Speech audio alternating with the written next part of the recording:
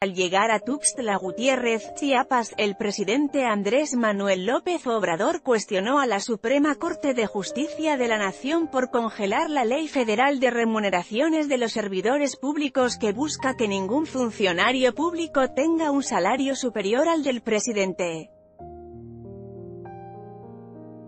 La Suprema Corte suspendió la aplicación de dicha ley luego de admitir un recurso de inconstitucionalidad interpuesto por senadores de oposición.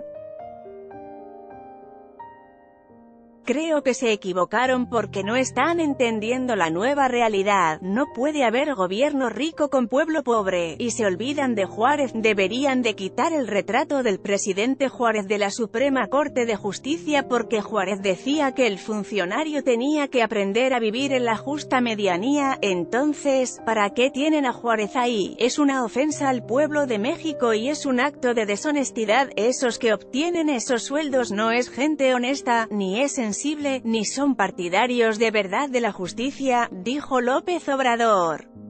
Señaló que el Poder Ejecutivo va a ajustarse al artículo 127 de la Constitución que establece que nadie puede ganar más que el presidente, confió en que el Poder Legislativo hará lo mismo, y enfatizó que, si bien respeta la autonomía del Poder Judicial, sí puede decir que no estaría dando un buen ejemplo a la nación.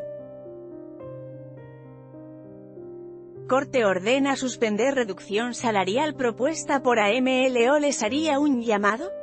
No, no, no, ya son mayores de edad y además es un poder independiente que yo tengo que respetar, pero una cosa es el respeto legal y otra cosa es que me quede callado, dijo López Obrador.